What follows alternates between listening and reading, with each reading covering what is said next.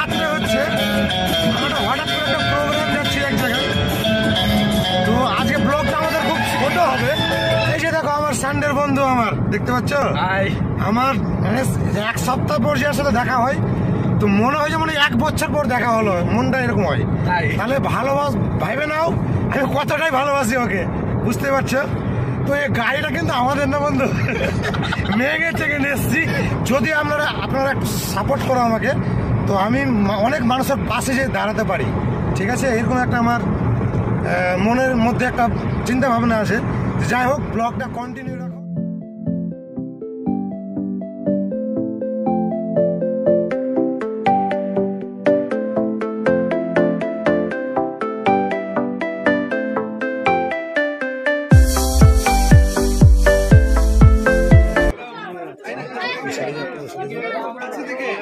দাঁড়াও দাঁড়াও দূর থেকে নি দূর থেকে।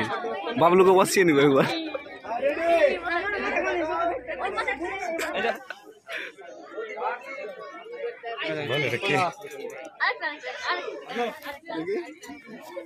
চলেন না হ্যাঁ ভিডিও করছি। ক্যাচ করব কোন টাইমে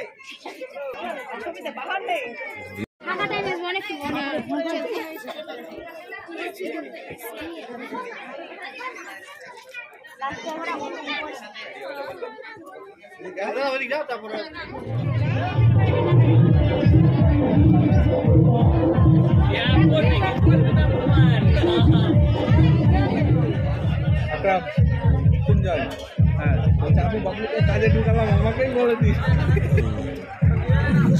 দেখতে পাচ্ছ খাওয়া দাওয়া করে হ্যাঁ দাঁড়ান। আর কি আসবে? আসবে নাকি?